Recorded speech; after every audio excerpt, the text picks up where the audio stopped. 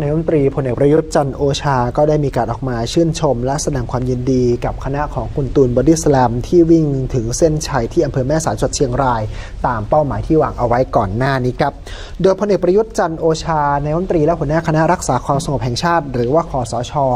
ได้กล่าวแสดงความยินดีกับนายอาทิวราห์ คงมาลัย หรือว่าคุณตูนบอดี้สแลม ที่วิ่งระดมเงินบริจาคในโครงการ ก้าวคนละ ก้าว เพื่อช่วยเหลือ 11 โรงพยาบาลทั่วประเทศและเดินทางถึงเส้นชัย ที่อำเภอแม่สายจังหวัดเชียงรายเมื่อวานนี้ตามเป้าหมาย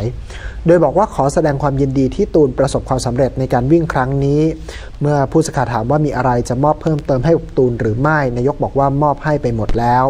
ทั้งนี้ผู้สื่อข่าวรายงานว่าระหว่างที่พูดคุยกับชาวบ้านที่มาร่วมใส่บาตรที่วัดมหาธาตุอุทยานประวัติศาสตร์สุโขทัยที่ตำบลเมืองเก่าอำเภอเมืองจังหวัดสุโขทัยเมื่อช่วงเช้านี้นะครับ ก่อนการประชุมรัฐมนตรีนอกสถานที่อย่างเป็นทางการที่สุโขทัยพลเอกประยุทธ์ได้มากระเซ้ากับผู้ที่มาร่วมทำบุญด้วยว่า